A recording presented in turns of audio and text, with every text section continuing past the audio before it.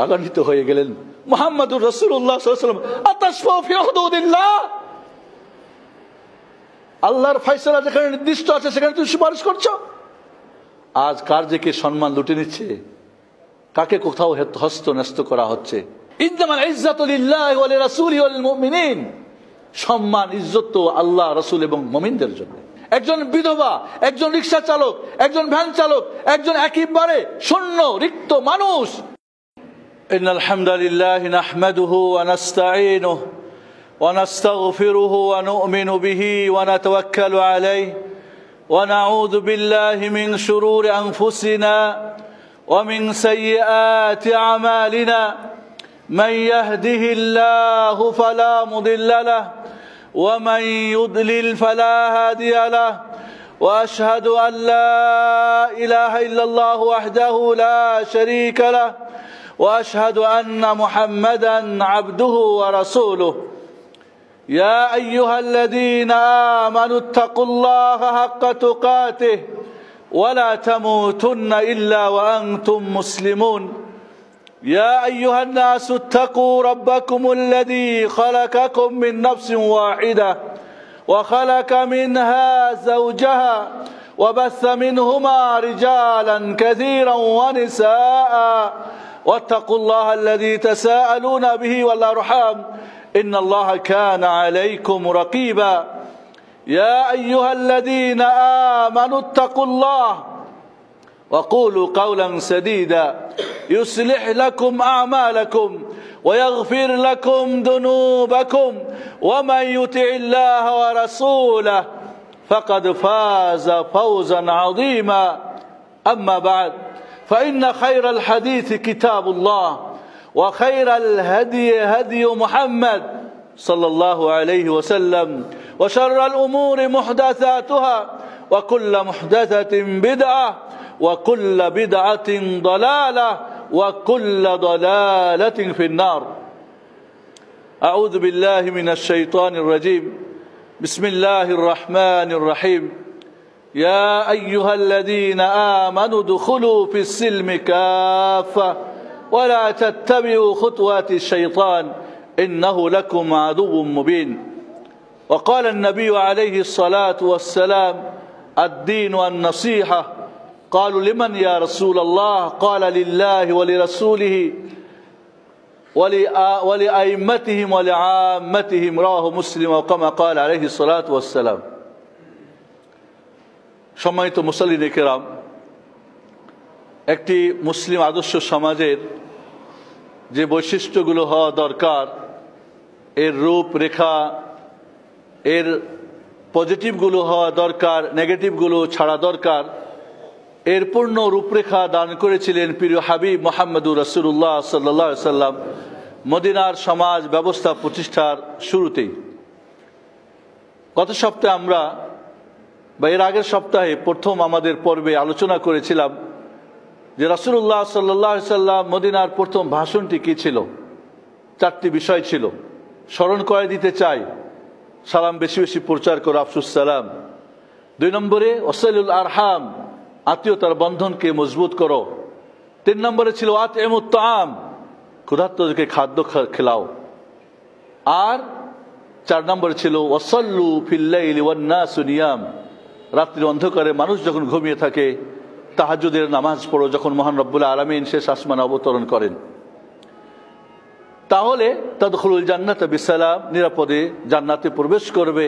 মহান আল্লাহ এবং ফেরেস্তারা তোমাদেরকে শুভেচ্ছা স্বাগতম জানাবে। আহলান ওসাহালান আমার হাবক বেকুম।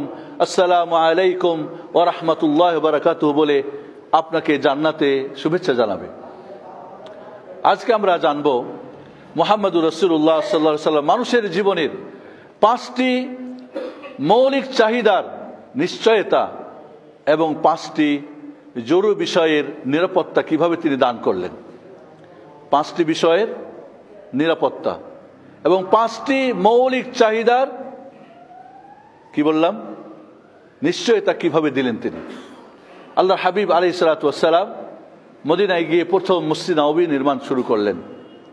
এর সাথে আনসার এবং মহাজেরদের ভ্রাতৃত্ব স্থাপন করলেন। আ খাবাইন আল আনসার ওয়াল মহাজের ওয়াল মহাজের, যারা হিজরত করে এসেছেন আর যারা মদিনার অধিবাসী, দুই দলের মাঝে তিনি একটা ভ্রাতৃত্ব স্থাপন করলেন।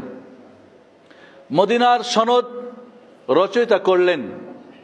তিনি মদিনায় মমিন, মুসলিম যারা ছিলেন, এর সাথে ছিল ইহুদিরা। ইহুদিদের তিনটি দল ছিল, বানু কাইনুকা, বানু নাদির, বানু কোরাইদা।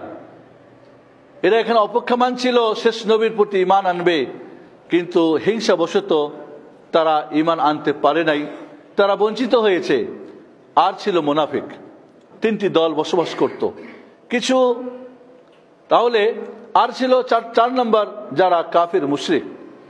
তাহলে মমিন, মুসলিম যারা, মোনাফিক এবং কাফের আর ইহুদি, তাহলে তিনটি বিপক্ষ দল, তিনটি ইসলামের বিপক্ষের দলের সাথে আল্লাহ নবী আলিসালাম চুক্তি আবদ্ধ করলেন।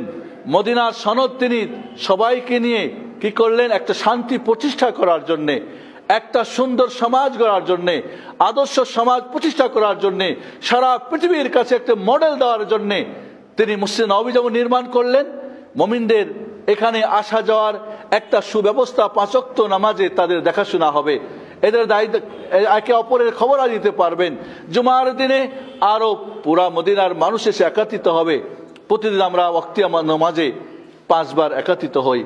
জুমার নামাজে আর একটু বড় করে আমরা একাত্রিত হই, ঈদের নামাজে আর একটু বড় হই, এরপরে আমরা ঈদের নামাজে আরও একটু বড় জামাত হই, এর চাইতে আরও একটি বড় জামাত হয় কোথায়?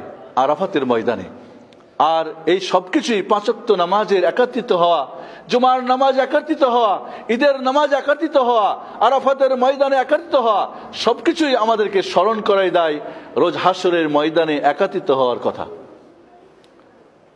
এই জমায়েতের কথা যদি আমরা স্মরণ না করি, তাহলে আমাদের ব্যর্থতা জীবনে।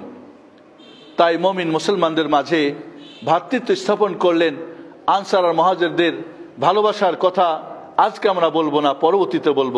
শুধু আজকে সংক্ষিপ্ত বলতে চাই, পাঁচটা মানুষের মৌলিক চাহিদার নিশ্চয়তা এবং পাঁচটি জরুরি জিনিসের নিরাপত্তা তিনি এই সমাজে প্রতিষ্ঠা করার জন্যে সার্বিক চেষ্টা করলেন। আর এই পাঁচ পাঁচ দশটি আজকে শুধু আমাদের বিষয় থাকবে। গুনে নেন, এক একটার ব্যাখ্যা করতে হয়তো আমাদের মাসকে মাস লাগতে পারে। প্রথমে আমরা জানি, পাঁচটি মানুষের মৌলিক চাহিদার নিশ্চয়তা কি ছিল? আমাদের দেখবেন, কিছু কমিউনিস্টরা, নাস্তিকরা, অমুসলিমরা ইসলামকে ছোট করতে চায়। আসলে তারা নিজেরাই ছোট হয়।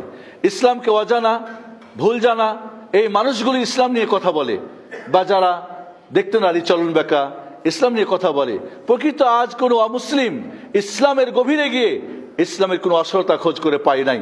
ইসলাম যা দিয়েছে, পৃথিবীর কেউ দিতে পারে না। এটা অনেক গবেষক গবেষণা করে, যখন যেদিক থেকে গবেষণা করেছে ওই দিক থেকে ইসলামে প্রবেশ করতে বাধ্য হয়েছে মহানব্বুল আলমিন তাদেরকে হেদায়ত দান করেছেন। মানুষের জীবনের পাঁচটি জরুরি চাহিদা, এক নম্বরে কি?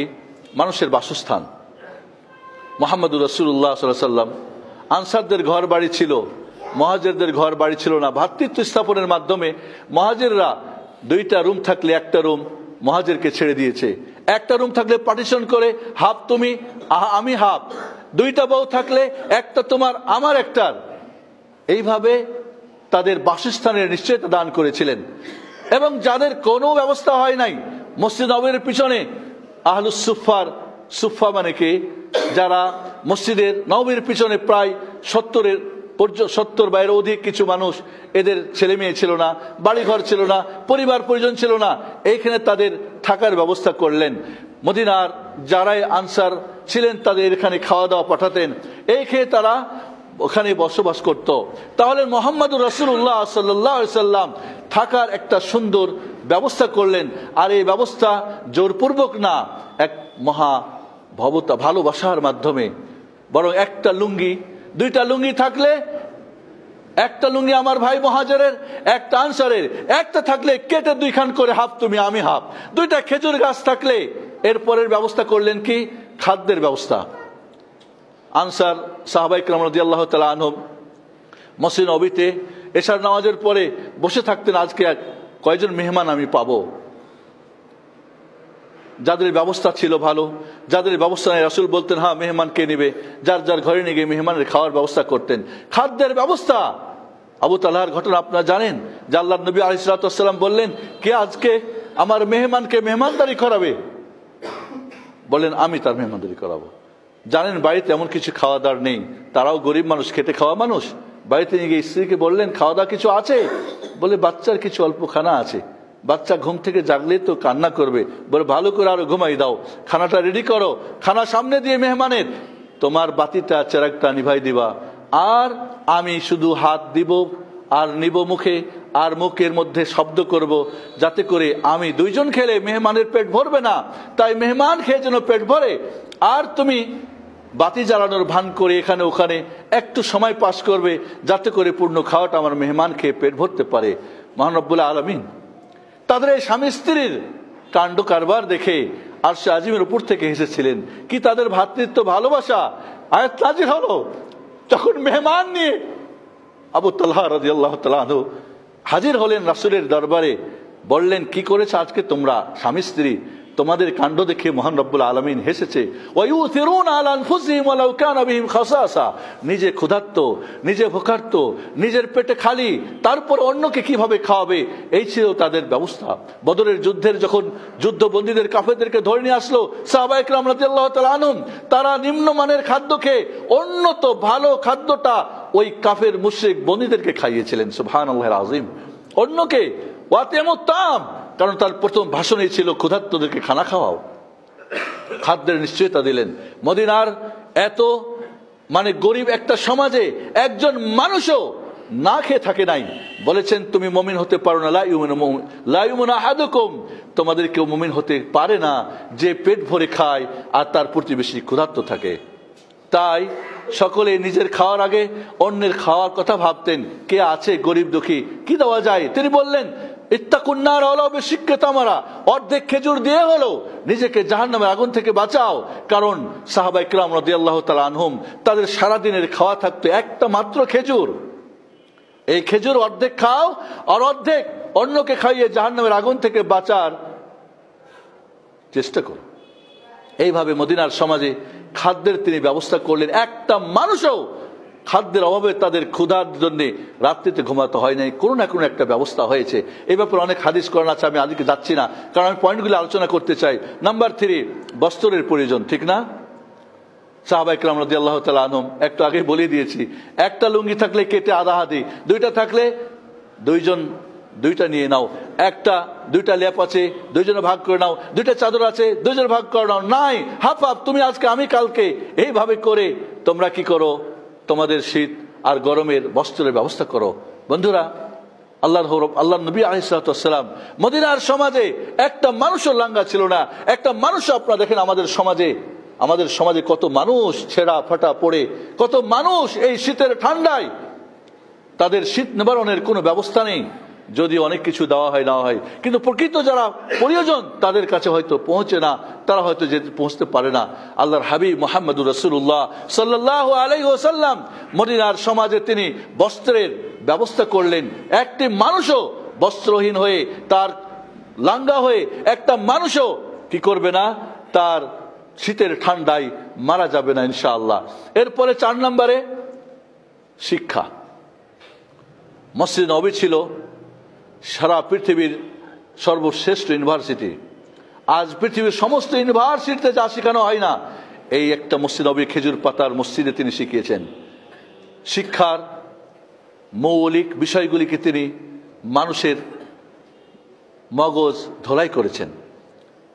যেই শিক্ষা নিয়ে সারা পৃথিবীর তিনটি মহাদেশে পৌঁছেছিলেন এই যাযাবর লোকগুলো, যে মানুষগুলি অন্ধকারে ছিল যে মানুষগুলি জাহিলিয়াতের অন্ধকারে হাবুডুবু খাচ্ছিল, এই মানুষগুলোকে তিনি সুন্দর সুশিক্ষা দিয়ে এদেরকে সুশিক্ষিত মানুষ করে, সোনার মানুষ তৈরি করে সারা পৃথিবীর বুকে তাদের শিক্ষা ছড়িয়ে দেওয়ার জন্য তিনি তাদেরকে দায়িত্ব দিলেন।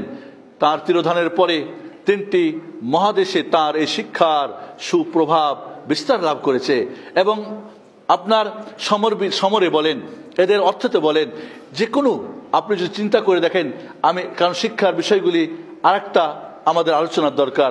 মৌলিক শিক্ষার যা প্রয়োজন ছিল, একটা মানুষের ভদ্রতা, একটা মানুষকে ভদ্র হওয়ার জন্যে সুশিক্ষিত সুশিক্ষা অত্যন্ত প্রয়োজন। একটা মানুষকে অন্যের প্রতি সহানুভূতিশীল হওয়ার জন্য, একটা মানুষকে মানুষ হিসাবে তৈরি করার জন্য যে শিক্ষার প্রয়োজন ছিল, সেই শিক্ষা তিনি দান করলেন। জাহিলিয়াতের যারা হানাহানি, খোনাখনি, মারামারি আর চুরি, ডাকাতি বদমাসি আর বাটপাড়িতে ছিল, ব্যবচার, জেনায় লিপ্ত ছিল, সেই মানুষগুলি এমন এক শিক্ষা পেল, যার মাধ্যমে তাদের জীবনগুলিকে অবল পরিবর্তন ঘটে গেল।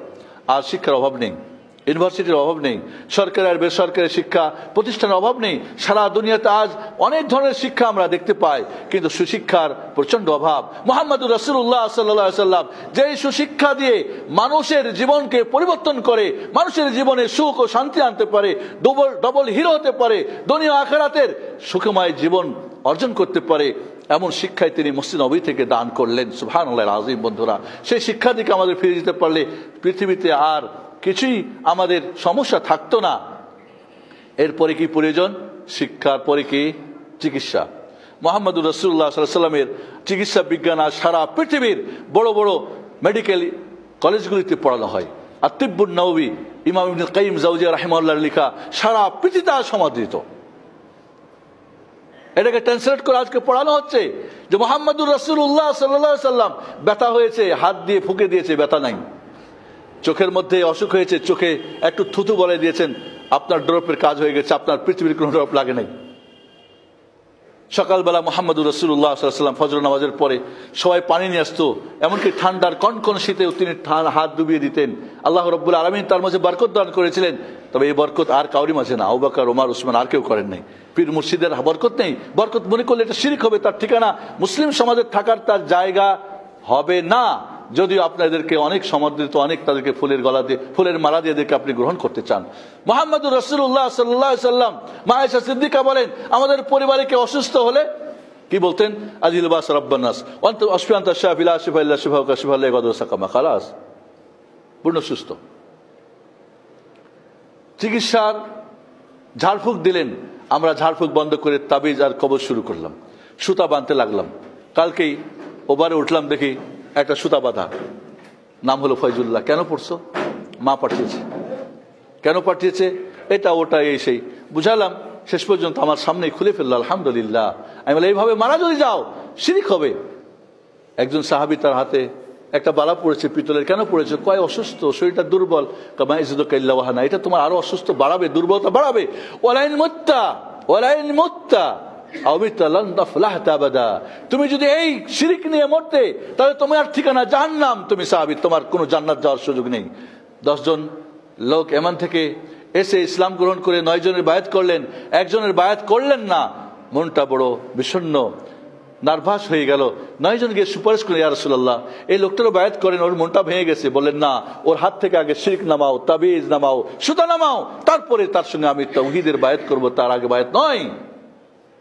এইভাবে মোহাম্মদ রসুল্লাহ বলেন তাদাও বিল হালাল ওরা তাদাও বিল হারাম। হালাল দিয়ে চিকিৎসা করো, হারাম দিয়ে চিকিৎসা করো না। তাদাও বি সদাকাত তাদাও মারাদাকুম বিসদাকাত দান সৎকার মাধ্যমে তোমাদের রোগীদের চিকিৎসা করো। অনেক জটিল জটিল রোগী যার কোনো চিকিৎসা পৃথিবীর কোনো ডাক্তার দিতে পারে না। আপনি দান খারাজ করে দেন মহানব্বুল আলমিন। তিনি তো এইটা ভালো করতে পারেন। অসুখ দেন কে? আল্লাহ। ভালো করেন কে? আল্লাহ। মোহাম্মদুর রসুল্লাহ সাল্লা সাল্লাম মদিনার সমাজে এই পাঁচটি চাহিদা। তিনি কি করলেন? পূরণ করলেন। বাসস্থান, খাদ্য, বস্ত্র, শিক্ষা, চিকিৎসা। এই মদিনার একজনকেও ওই তখনকার পারস্য আর রোমে গিয়ে চিকিৎসা করতে হয়নি। যে কোনো জটিল রোগী। কাউকে কোনো ইউনিভার্সিটি গিয়ে পড়তে যেতে হয় নাই। কাউকে তাদের বস্ত্রের জন্য যেতে হয় নাই, কোনো দেশের সঙ্গে কন্ট্যাক্ট করতে হয় নাই। সুবহান আল্লাহ সেই যুগে যখন যোগাযোগ ব্যবস্থা, আপনারা জানেন কত করুণ ছিল। শিল্পের ব্যবস্থা ছিলই না, অত্যন্ত। সেই মুহূর্তে মোহাম্মদুর রসুল্লাহ সাল্লাম মদিনার সমাজে পাঁচটি মানুষ জীবনের গুরুত্বপূর্ণ চাহিদার নিশ্চয়তা দান করলেন। আজ পৃথিবীতে এই চাহিদা পূরণের জন্য কত স্লোগান? আপনারা জানেন রাশিয়ার কথা। কত লক্ষ মানুষকে হত্যা করেছিল তারা। জানেন আপনারা আমেরিকার কথা, জানেন আপনারা হিটলার বিভিন্ন এর কথা। এই চাহিদা পূরণের স্লোগান দিয়ে মানুষের চাহিদাকে হনন করা আজ যেন এক শ্রেণির মানুষের প্রধান বা প্রথম কাজ যেন এদের কাছে মনে হয়। তাহলে আশা করি এই পাঁচটা কথা কি বুঝে আসছে আমাদের? আমি রিপিট করি আবার। এগুলো স্লোগানও আপনারা শুনেন। মানুষের জীবনের সবচেয়ে প্রয়োজন কয়টি? পাঁচটি। বাসস্থান, খাদ্য, বস্ত্র, শিক্ষা, চিকিৎসা। এই পাঁচটি মদিনার আদর্শ সমাজে মোহাম্মদুর রসুল্লাহ সাল্লাম এর ভিত্তি স্থাপন করেছিলেন। আজ শুধু আমাদের, এর ওপরে খালি উঠানো দরকার। তাহলে যথেষ্ট। একটা মুসলিম সমাজে একজন মানুষও তার এই পাঁচটি চাহিদা পূরণে পুরো এই চারটি, পাঁচটি চাহিদা তার পূরণ হবে না, এটা হতেই পারে না। এই জন্য আমাদের সমাজে এখানে যারা আছেন, এই মসজিদ সাথে যারা সম্পর্ক, আশেপাশে দেখবেন এই পাঁচটা কে কোথায় বঞ্চিত আছে, আপনি তাকে খোঁজ করে বের করুন। সে আপনার খোঁজ করবে না। আপনার প্রতি পবিত্র ফরজ দায়িত্ব এটা। এবং তার সেই চাহিদা পূরণের জন্য আপনার যতটুকু সম্ভব, ততটুকু আপনি সেটাকে করার জন্য চেষ্টা করুন। সামাজিকভাবে এর যৌথ কি করেন? প্ল্যান প্রোগ্রাম দেন একটা মানুষের জন্য এই পাঁচটা জিনিস থেকে বঞ্চিত না হয়। এটাই হলো একটা মুসলিম আদর্শ সমাজের স্বরূপ বৈশিষ্ট্যর প্রয়োজনের একটা অত্যন্ত গুরুত্বপূর্ণ বিষয়। আমি আগেই বলেছি, এই বিষয়গুলি ব্যাখ্যা করে বলার আজকে সুযোগ নাই। আল্লাহ রব্বুল্লাহ আলমিন সুযোগ দিলে আমরা এগুলোর বিস্তারিত আলোচনা করব ইনশাআল্লাহ। আসুন, পাঁচটা চাহিদার নিশ্চয়তা দান করলেন মোহাম্মদুর রসুল্লাহ সাল্লাম আর কি বলেছিলাম? পাঁচটি মানুষের নিরাপত্তার জন্যে, মানুষের পরিপূর্ণ নিরাপত্তার জন্যে পাঁচটি জরুরি জিনিসকে তিনি কি করলেন? উম্মতের প্রতি জরুরি করে দিলেন, মহানব্বুল আলমিনের প্রতি ফরজ করে দিলেন। পাঁচটা জিনিসকে যদি আপনি জরুরি ভিত্তিতে এর সংরক্ষণ করেন, তাহলে একটা মানুষ জীবনে, একটা সমাজে, একটা দেশে, সারা পৃথিবীতে শান্তি প্রতিষ্ঠিত হবে। কেউ মাজলুম হবে না। কেউ নির্যাতিত হবে না, কেউ কেউ ধোকায় পড়বে না, কেউ কোনো সমস্যায় পড়বে না।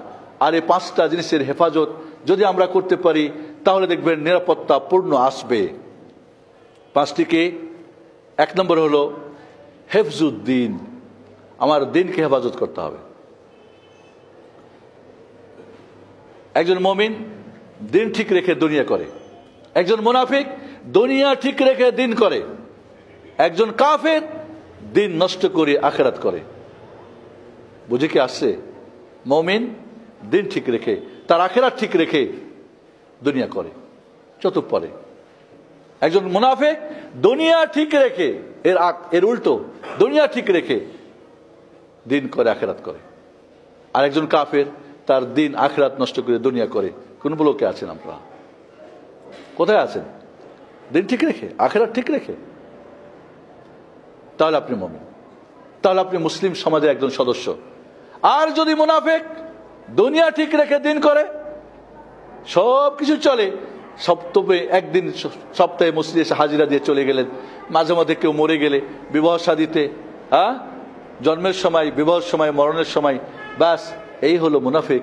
এরা হালাল, হারাম যায় না যায় কিছু বুঝে না। এরা দিনকে নষ্ট করে দুনিয়ার পিছনে ছুটতে থাকে। এই মুনাফিক মার্কা মুসলমান, মুসলিম সমাজ যখন বসবাস করে, ওই মুসলিম সমাজ কি হয়ে যায়? এখান থেকে তার নিরাপত্তা দূর হয়ে যায়। তখন, যখন, তখন এখানে যে কোনো ধরনের অকারেন্স যে কোনো ক্রাইম হতে পারে। কিন্তু যখন একজন মুসলিম মুসলিম সমাজের প্রতিটি মানুষ তার দিনকে হেফাজত করবে, আর দিন অন্নসিহা দিন হচ্ছে কি একে অপরের কল্যাণ কামনা করা। কল্যাণ মানে রাসুল আল্লাহ আল্লাহ নবী সাহাবা একরাম বললেন, কার জন্য নসিহাত? বলে, লিল্লাহ। আল্লাহর জন্য, মাত্র আল্লাহর আদেশ নিষেধ পালন করা। বলে রাসুলই আল্লাহর আদেশ নিষেধ পালন করা। বলে আইমাতিহিম এবং তাদের ইমাম যারা দায়িত্বশীল, তাদের দায়িত্ব, তাদের যা পাওনা দিয়ে দেওয়া। বলে, আম্মাতিহিম এবং সাধারণ জনগণের যা দায়িত্ব, পাওনা দাওনা তা দিয়ে দেওয়া। একটা হাদিস ইসলামের পরিপূর্ণতা দান করেছে। ইমাম মুসলিম রহমতুল্লাহ এই বর্ণিত হাদিসটাকে ওলামা ইকরাম একটা করে ভলিউম বই ব্যাখ্যা লিখেছেন। সুবহান আল্লাহ আজিম বন্ধুরা, দিনকে ঠিক রেখে দুনিয়া করা একজন মমিনের পবিত্র দায়িত্ব, এই তা যদি আপনি করতে পারেন, ওই সমাজে শান্তি প্রতিষ্ঠিত হবে, কোনো প্রকার অশান্তির কিছু আসতে পারে না। নাম্বার টু, হেফজুল আকল। বিবেক বুদ্ধিকে হেফাজত করা। এই জন্য মদ হারাম, গাজা হারাম, বেড়ি হারাম, তামাক হারাম, জর্দা হারাম, যত কিছু বিবেককে নষ্ট করে সব কিছু হারাম। ইন্নামাল খামরু ওয়াল মাইসির ওয়াল আনসা ওয়াল আজলাম ওয়াল ইসম আমাদের শাহিতান যে সমস্ত জিনিস ব্রেনকে নষ্ট করে, আজকাল মোবাইল, সবার হাতে হাতে এই মোবাইল, আপনি কি জানেন? এখন মেডিকেল সায়েন্স বলে, যেমন নেশা খেয়ে নেশাগ্রস্ত হয়, এই মোবাইল চালিয়েও কিন্তু বেশি যারা চালায় এরা মোবাইলের নেশা হয়ে যায়। ঠিক যেমন নেশা করলে মাথা কাজ করে না, ভালো মন্দ বুঝে না, এটাও কিন্তু আপনাকে নেশাগ্রস্ত করে দেয়। এটা কিন্তু অনেক, কি এটা? মানে আধুনিক নেশা। ডিজিটাল যুগের নেশা। পোলাপান দেখেন না কি করে? রাস্তা যে হাঁটতেছে, গাড়ি যাচ্ছে না, কোথায় পড়ল কোনো খবর নেই, নেশাগ্রস্ত, টলমল করে, মাথা কাজ করে না। আজ বন্ধুরা আকলকে, বিবেক বুদ্ধিকে হেফাজত করার জন্য ইসলাম কি করেছে? যত কিছু এটার জন্য বিপরীত সবকিছুকে হারাম করে দিয়েছে। এই জন্যে যখন আপনার বিবেক বুদ্ধি ঠিক থাকবে, আপনি ভালো মন্দ বিবেচনা করতে পারবেন। আমাদের খুব দুঃখ লাগে, আমাদের ধর্মীয়, আমাদের সমাজের লোকগুলি যখন ধর্মীয় কথা আসে তখন কি আবেগ দিয়ে চিন্তা করে এমোশনাল দাড়িওয়ালা, টুপিওয়ালা, মুরজা, হুজুরে কইছে, বাস, বড় মুফতি কইছে। আর যখন দুনিয়ার ব্যাপার আসে, তখন পুরা বিবেকটা কাজে লাগাই আমরা। এ আহাম্মক মুসলমানদের অবস্থা। আপনার বিবেক কোথায়? কোরআনে আছে, কয় আমার হুজুরে কইছে। হাদিসে আছে, কয় আমার কিতাবে আছে। কি কিতাব? এই কথাটা কি দুনিয়ার ক্ষেত্রে চলে? কয় মিয়া দলিল আছে? কেমন দলিল আছে? জয়ীফ। দুর্বল, সেও জানে।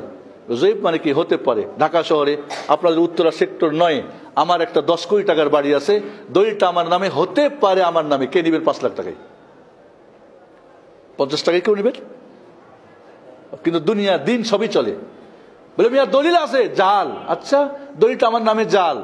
যদি দলিলটা আপনার সামনে দিই, আমারে কি সালাম দেবেন না আমারে জেলখানায় নিয়ে যাওয়ার চেষ্টা করবেন? কিন্তু আপনার হুজুর আপনাকে জাল জয়ীব দিচ্ছেন মার্শাল্লাহ ফুলের মালা দিয়ে পেট ভরে খাওয়ায় পেটের পকেট ভরে টাকা দিয়ে দিচ্ছেন মার্শাল্লাহ এ কি আহম্মক? বিবেকহীন? বিবেক কোথায় গিয়েছে? এরকম বিবেকহীনরা? এই সমাজের অশান্তির মূল কারণ, দুনিয়ার ক্ষেত্রেও, দিনের ক্ষেত্রেও। একটা মুসলিম সমাজের নিরাপত্তার জন্যে, নিশ্চয়তার জন্যে সুস্থ বিবেক হতে হবে। আর এই বিবেককে ইসলাম পরিপূর্ণভাবে সংরক্ষণ করার দায়িত্ব নিয়েছে। মোহাম্মদুর রসুল্লাহ সাল্লাম মদ যেদিন হারাম হয়ে গেল। উমার ফারুক রাজাল্লাহ তালু প্রথমত মদ হারাম হলো, বলা হলো এর মধ্যে ক্ষতির বিষয়টা বড়, লাভ কিছু আছে। কিছু মানুষ বলো, ক্ষতি যখন বেশি, বাদ দিলাম। এরপরে কি হলো? নামাজের সময় মদ খেয়েও না। উমার ফারুক বারবার ইয়াসুল্লাহ এই মদটাকে হারাম করতে। কারণ তিনি এই মদের ব্যাপারটা ভালো করে জানেন। এবং আরব সমাজে মদের নাম ছিল একশো বিশটা। তার মধ্যে প্রধান নাম ছিল উম্মুল আফরাহ, আনন্দের মা। ওদের কোনো অনুষ্ঠানে, এমনকি মক্কা ঘরের পাশে, কাবা ঘরের বসে, এই মদ না খেলে তাদের আনুষ্ঠানিক, আনুষ্ঠানিকতা হতো না। সেই মদ যখন হারাম হয়ে গেল মদিনার, সবাই করল কি, সব মদকে একদম মদিনার অলিগলিতে ভাসিয়ে দিল, ঢেলে দিল, বন্যা বেয়ে গেল।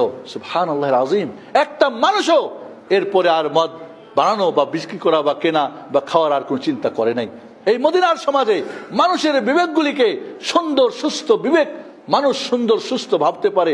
অসুস্থ বিবেক, নেশাখর বিবেক এরাই চোর, ডাকাত, এই পৃথিবীর যত অকারেন্স, একটা সমাজকে একেবারে বিঘ্নত করার জন্যে, এর শান্তিকে নষ্ট করার জন্যে যথেষ্ট। একটা হলে। দেখেন না? যদি একটা গোয়াল ঘরে নিরানব্বইটা গরু বাধা থাকে, আর একটা ছাড়া থাকে, কি করবে? একটা ওই একটা ওই নিরানব্বইটাকে ডিস্টার্ব করবে। গোতাবে গিয়ে।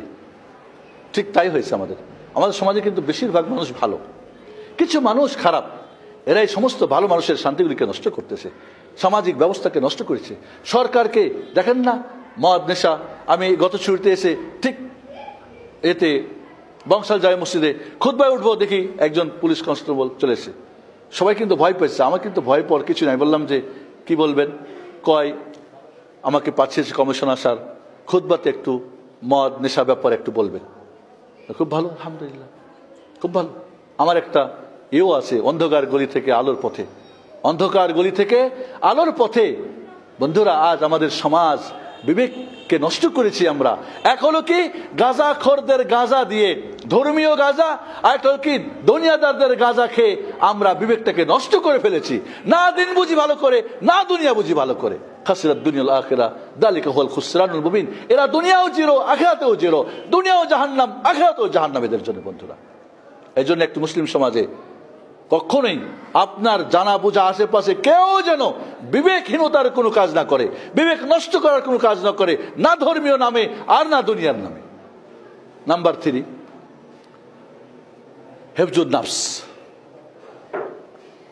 জীবনের নিরাপত্তা। আর জীবনের নিরাপত্তার জন্য সরকার বাহাদুর কত কিছুই না করতেছেন, আমরাও কিছু অনেক কিছু করি। জীবনের নিরাপত্তা দিয়েছে ইসলাম। একটা মুমিনকে কেউ ইচ্ছা করে হত্যা করলে তার জন্যে যেমন জাহান্নাম স্থায়ী ঠিকানা, তার জন্য লানা তার জন্য অভিশাপ, তার জন্য কঠিন আজাব একটা মানুষকে হত্যা করলে সারা পৃথিবীর মানুষকে হত্যা করার সমান পাপ। একটা মানুষকে জীবিত রাখতে পারলে তার যদি আত্মা রক্ষা করেন, তাহলে আপনি যদি সারা পৃথিবীকে রক্ষা করলেন আজিম এর চাইতে ভালো কি বাণী হতে পারে ইসলামের?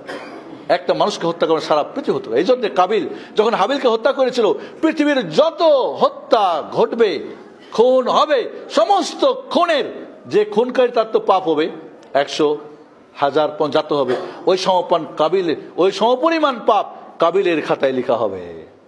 সারা পৃথিবীর যত খুন হবে, সমস্ত খুনের সমান পাপ কাবিলকে দিতে হবে? কারণ সে মানসান্না সুন্নাতান সৈয়াতান আমিলা বিহা। যে কোনো অপকাজ শুরু করে। এর দেখা দেখি যত সাগরিদ, সমস্ত সাগরিদের পাপ ওস্তাদের মাথায় এসে চাপবে। বন্ধুরা, ইসলাম জীবনের নিরাপত্তার জন্যে। আজ হজে গিয়ে কত লোক মরি আমরা? প্রতিবার হজে গিয়ে কত লোক মরি? এত কিছু সুন্দর ব্যবস্থার পরে। মোহাম্মদুর রসুল্লাহ সাল্লাহ সাল্লামের সাথে যারা হজে গিয়েছিলেন, কয়জন মরেছিলেন? ওই ভাঙ্গা ফুটা রাস্তা রোড দিয়ে? রাস্তা ছিল না, কিছু না, পাহাড় পর্বত দিয়ে? কেন মরে নাই? আর এখন কেন মরে? এত সুন্দর ব্যবস্থা পরে। মোহাম্মদুর রসুল্লাহ সাল্লাহ সাল্লাম জীবনের নিরাপত্তা দিলেন মদিনার সমাজে, আদর্শ সমাজে। একটা মানুষও, এমনকি একটা মানুষকে হত্যার জন্য যদি পুরো একটা গ্রাম অংশগ্রহণ করে, কেউ পরামর্শ, কেউ অস্ত্রে, কেউ এখানে সমর্থ একটা মানুষের বিনিময়ে সমস্ত মানুষকে হত্যা করা ফরজ হয়ে যায় একটা মানুষ হত্যার পিছনে যত মাস, মনে করেন, এখানে এটু যে যারা এর সঙ্গে সংযুক্ত থাকবে, সমস্ত যারা প্রমাণিত হবে, সমস্ত মানুষকে কি করা হবে, কেসাস করে তাদের শিরচ্ছেদ করতে হবে। চিন্তা করে দেখেন, নিরাপত্তা কেন করবে? সৌদি আরবে আমি দেখেছি, একটা মানুষকে যখন হত্যা করা হয়, সবার সামনে নিয়ে এসে, তখন ওই দেখা মানুষগুলো আর শোনা মানুষগুলি হত্যা করার ব্যাপারটা আর ভাবতেই পারে না। আর মধ্যযুগের আইন বলে আমাদের কিছু মানুষরা। মোহাম্মদুর রসুল্লাহ সাল্লাহ সাল্লাম মদিনার সমাজ গড়তে গিয়ে জীবনের নিরাপত্তার নিশ্চয়তা দান করলেন। মহানব্বুল্লাহ আলমিন তার জন্যে তাকে ঐশী বাণী দিলেন কোরআন সুন্নার মাধ্যমে। তিনি একটা সুন্দর সমাজ যেখানে একটা মানুষও খুন হবে না।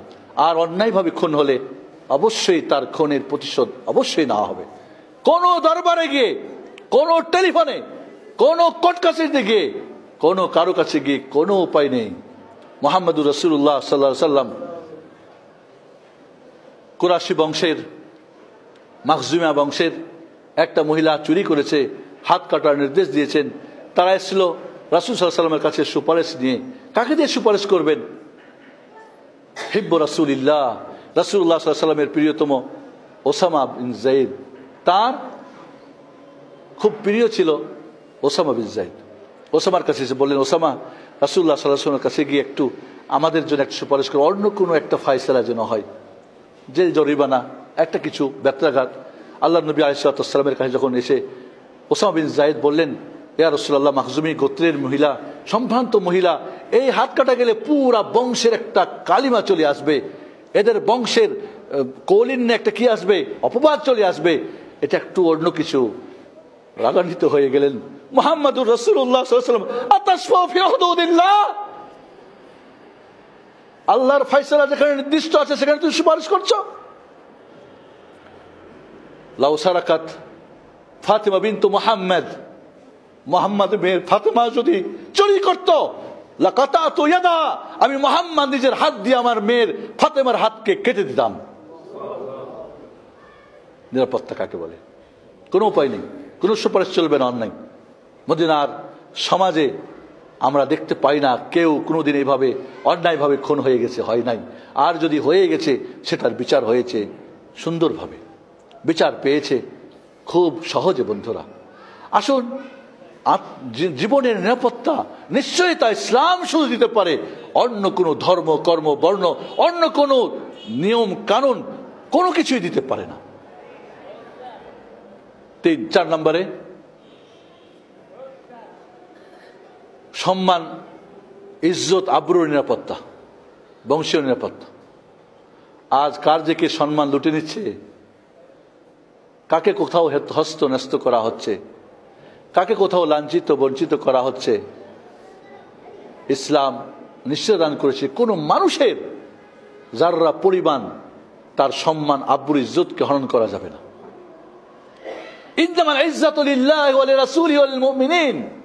সম্মান, ইজ্জত তো আল্লাহ, রসুল এবং মমিনদের জন্য। আবদুল্লাহ ওমর রাজিয়াল্লাহ তালা আনহু কাবা ঘরের দিকে লক্ষ্য করে বলছে, এই কাবা তোর সম্মান অনেক, আমি জানি। কাবা ঘরের সম্মান অনেক না? এই পৃথিবীর কোনো কাফের কাবা ঘরে গিয়ে কি একটা থাপ্পড় মারতে পারবে? একটা থুতু ফেলতে পারবে? সাহস করবে? কোনো মুসলিম? কোনো হাজি সাহেব? কোনো উমরাকারী? হতেই পারে না। আবদুল্লাহ উমার বললেন, কাবা, তোমার সম্মান অনেক বেশি, তবে একথা জেনে রাখো তোমরা, এই কাবা ঘরের চেয়ে একজন মমিনের সম্মান ইজ্জত অনেক গুণে বেশি। আল্লাহ। হারামুন আলাইকুম। হ্যাঁ? একজন মুসলমান মুসলমান হারাম কি? এরুদহু ও আমালহু ও দামুহু। তার সম্মান নষ্ট করা, তার খুন খারাপি করা, তার সম্পদ নষ্ট করা হারাম। বিদায় হজে আল্লাহ নবী ওয়াসাল্লাম বললেন, আজকের দিনটা কোন দিন বলো তো? ভাবলেন, বুঝি অন্য কোনো দিন।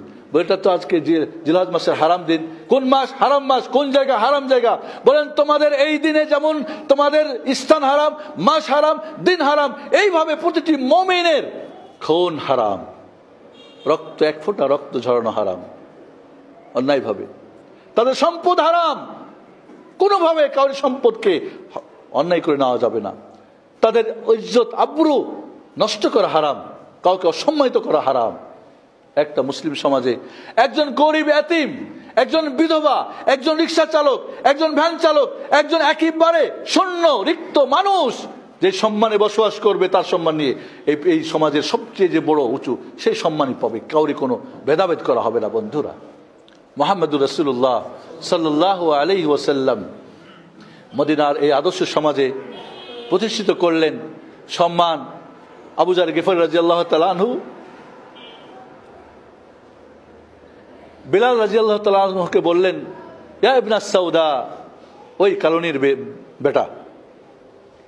বেলাল রাজি আল্লাহ নিগ্র কালো ছিলেন। হ্যাঁ? তো আবু জার গফর রাজি আল্লাহ তালাহু বললেন, এই কালোর বেটা। মানে তিরস্কার করলেন, তার সম্মানকে নিচু করলেন আল্লাহর নবীর কাছে। অভিযোগ জানালেন। আল্লাহ রসুল বললেন, যাও আবুজারকে ডেকে নিয়ে আসো। আবুজার হাজির হলো। বললেন ইয়া আবাজার ইন্নাকা ইন্নাকা ইমরুন ফিকা জাহিলিয়া, ইন্নাকা ইমরুন ফিকা জাহিলিয়া, ইন্নাকা ইমরুন ফিকা জাহিলিয়া। তোমার মধ্যে আজও জাহিলিয়াতের অন্ধকার রয়ে গেছে। এইভাবে রাগ করে যখন বলতেছিলেন আবুজার মানে নিজেকে বলে আসলে এই বয়সেও, এই বুড়ো বয়সে, এই বসি বয়সেও এইভাবে করে আপনি আমাকে বলছেন? বলে হ্যাঁ তুমি আরেকজনকে ছোট করছে। আরেকজনকে আজকে আমরা মা তুলে, বংশ তুলে, এটা করে, ওটা করে, কত কিছু মানুষের জীবনকে নষ্ট করে ফেলি। এমনও দেখা গেছে, মানুষ আত্মহত্যা করে।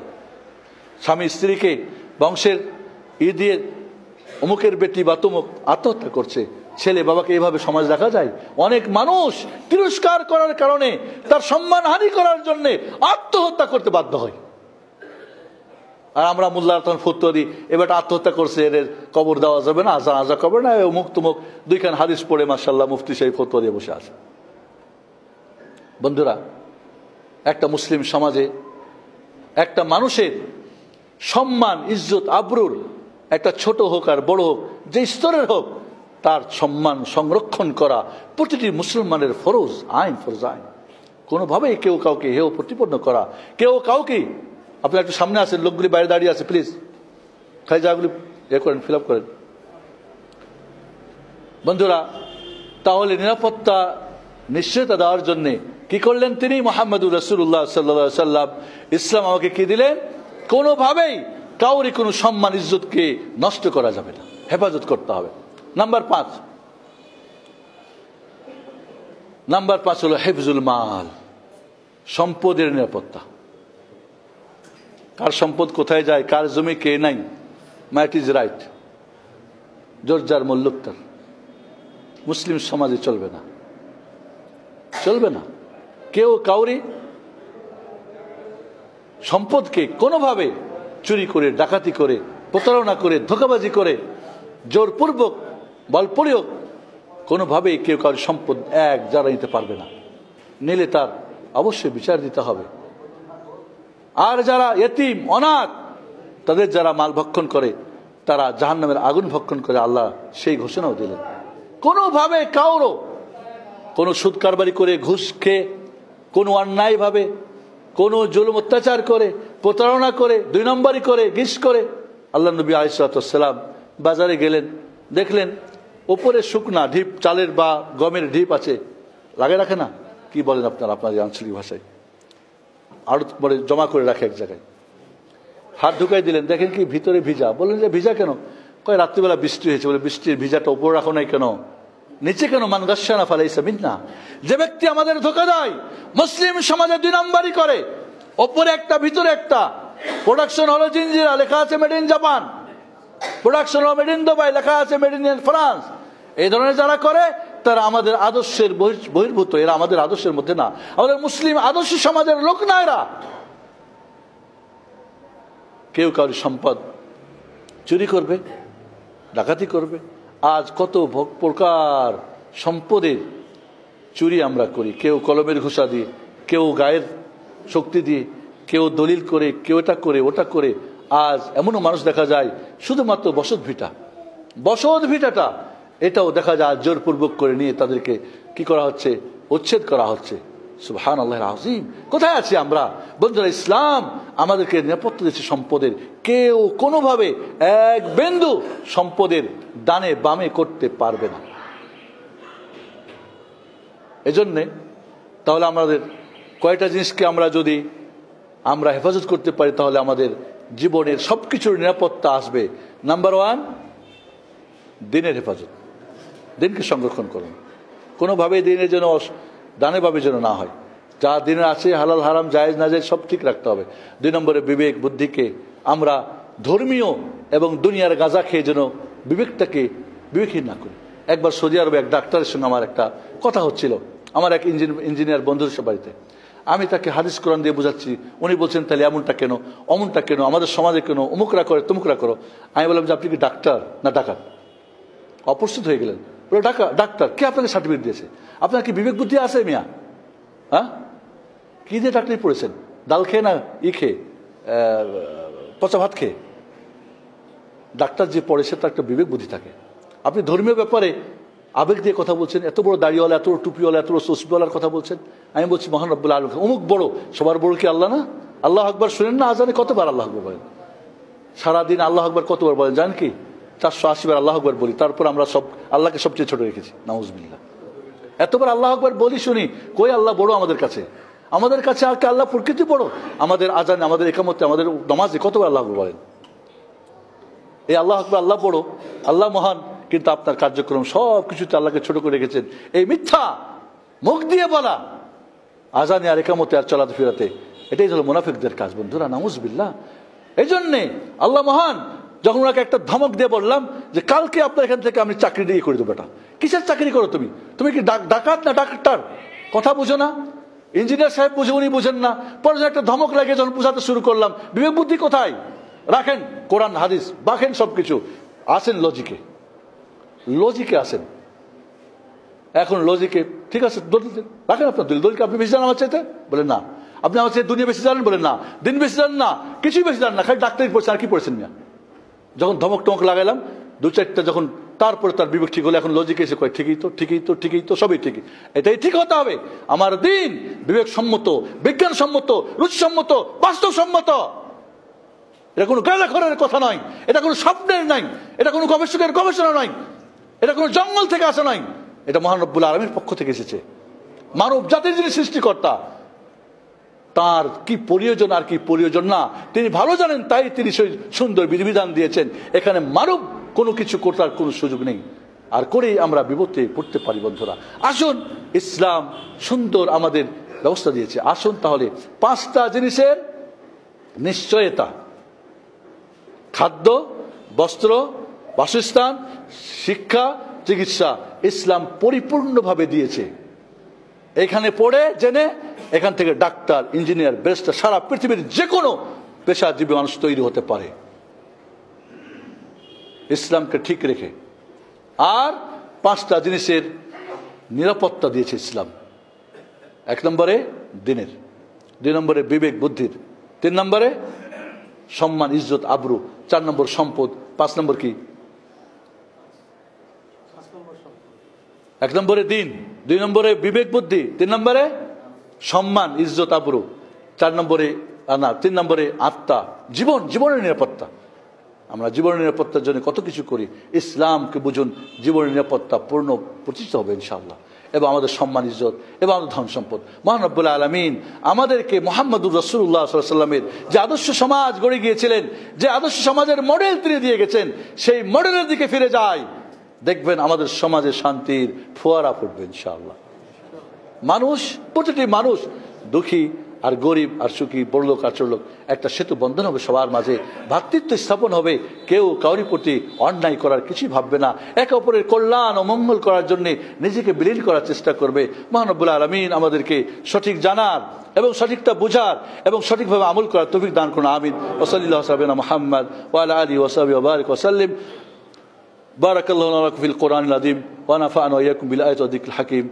إنه تعالى جواد كريم ملك الرؤوف الرحيم.